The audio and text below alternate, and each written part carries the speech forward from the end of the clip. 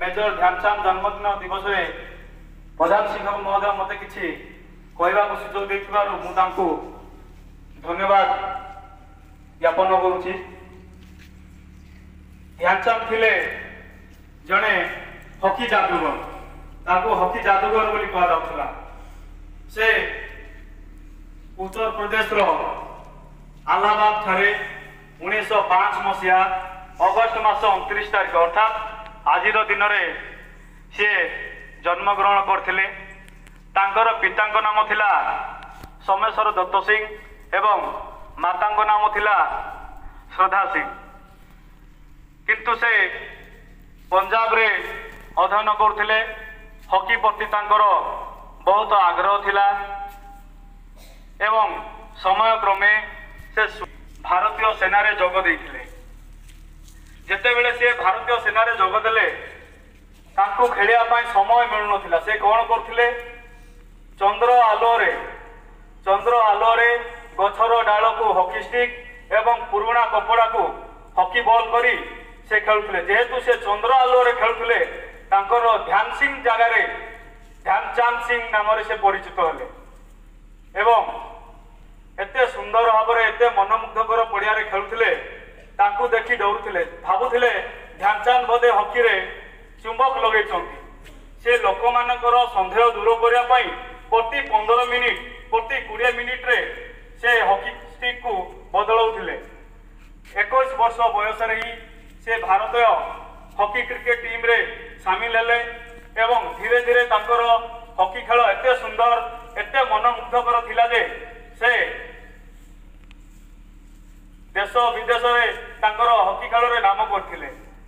ଏବଂ ଉଣେଇଶହ ଅଠେଇଶ ମସିହା ତାଙ୍କ ନେତୃତ୍ୱରେ ଉଣେଇଶହ ଅଠେଇଶ ମସିହା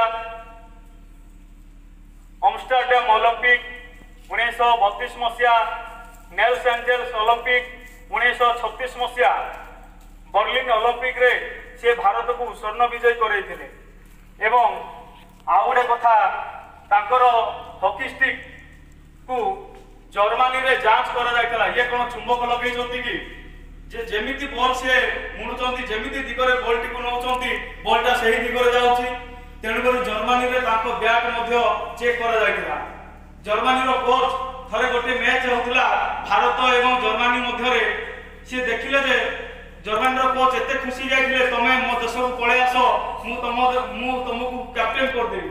ସିଏ କହିଥିଲେ ଯେ ମୁଁ ଜଣେ ସାଧାରଣ ଖେଳାଳି ମୁଁ ମୋ ଦେଶ ତରଫରୁ ଖେଳି ଯେତିକି ସମ୍ମାନ ପାଉଛି ତାହା ଯଦି ମୁଁ ପଳେଇ ଆସିବି ତମ ଟିମ୍କୁ ମତେ ନା ମିଳିବ ସମ୍ମାନ ନା ମତେ ମିଳିବ ଗୌରବ ତ ଏଥିରେ ଉକ୍ତିରେ ଗୋଟେ କଥା ମୁଁ କହିବାକୁ ଚାହେଁ जो भरा नहीं है भावों से बहती जिसमें रसदार नहीं वो हृदय नहीं है पत्थर है जिसमें स्वदेश का प्यार नहीं यार अर्थ ହଉଛି ସେ ନିଜ ଦେଶକୁ ବହୁତ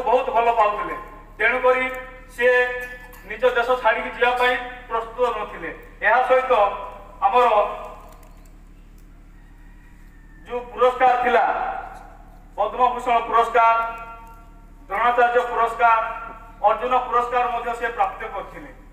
ତାଙ୍କର ଖେଳ କୌଶଳ ଏତେ ଉନ୍ନତ ମାନର ଥିଲା ସେ ଯେକୌଣସି ସ୍ଥାନରୁ ଯେକୌଣସି କୋଣରୁ ମଧ୍ୟ ଗୋଲ କରିପାରୁଥିଲେ ଶହେ ଉପରେ ମ୍ୟାଚ୍ ଖେଳିଛନ୍ତି ଏବଂ ଚାରିଶହ ଉପର ଅନ୍ତର୍ଜାତୀୟ ଗୋଲ ମଧ୍ୟ ସିଏ ଦେଇଛନ୍ତି। ଏଥିସହିତ ଦୁଇ ହଜାର ଦୁଇ ମସିହାରେ ଦୁଇ ହଜାର ଦୁଇ ମସିହାରେ ତାଙ୍କ ନାମରେ ପୁରସ୍କାର ବିତରଣ କରାଗଲା ଏବଂ ତାଙ୍କ ନାମ ଅନୁସାରେ ଆଜି ରାଷ୍ଟ୍ରପତି ସନ୍ଧ୍ୟା ସମୟରେ ମଧ୍ୟ ପ୍ରତିଦିନ ଖେଳାଳିମାନଙ୍କୁ ପୁରସ୍କାର ଘୋଷଣା କରିବେ।